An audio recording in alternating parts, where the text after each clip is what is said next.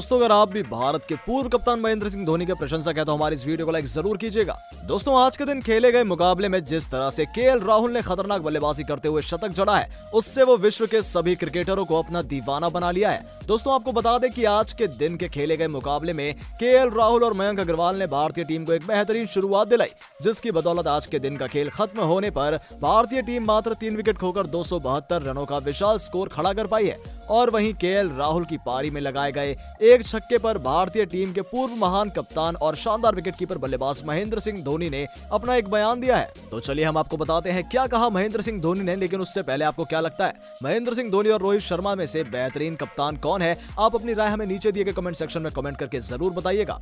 दोस्तों, आज के दिन साउथ अफ्रीका के खिलाफ खेले गए पहले टेस्ट मुकाबले में यदि कोई खिलाड़ी सबसे ज़्यादा आकर्षण का केंद्र रहा है तो वो है भारतीय टीम के उप कप्तान के राहुल। दोस्तों, आपको बता दें कि के राहुल ने 222 गेंद खेलते हुए 120 रनों की धमाकेदार पारी खेली, जिसमें उन्होंने 16 चौके और एक गगनचुंबी छक्का लगाया। उनकी इस पारी की बदौलत पहले दिन का खेल खत्म होने तक भारतीय टीम एक बेहद मज़बूत स्थिति में पहुँच चुकी है, जहाँ से साउथ अफ्रीका का वापसी कर पाना बेहद ही मुश्किल लग रहा है। और वहीं उनके जोड़ीदार मयंक अग्रवाल ने भी शानदार बल्लेबाजी करते हुए साठ रनों की बेहतरीन पारी खेली, जिसमें उन्होंने नौ बेहतरीन चौके भी लगाए। हालाँकि वो शतक से चूक गए, लेकिन उनकी पारी की बदौलत भारतीय टीम एक अच्छी स्थिति में है। दोस्तों, वहीं के राहुल ने केशव महाराज की गेंद पर मिड विकेट के ऊपर से एक बेहतरीन छक्का लगाया था, जिसको देखकर भारत के पूर्व महान कप्तान और विश्व के सर्वश्रेष्ठ फिनिशर महेंद्र सिंह धोनी भी हैरान रह गए। जी हाँ दोस्तों, महेंद्र सिंह धोनी ने के राहुल की तारीफ़ करते हुए कहा कि उन्होंने जिस तरीके से वो छक्का लगाया, वो शानदार था, क्योंकि वो उस समय अपने शतक के बेहद करीब थे और उस समय में उनका ये छक्का लगाना दर्शनीय था। उन्होंने आगे कहा कि जिस तरह से राहुल ने चौको छक्कों की बरसात की,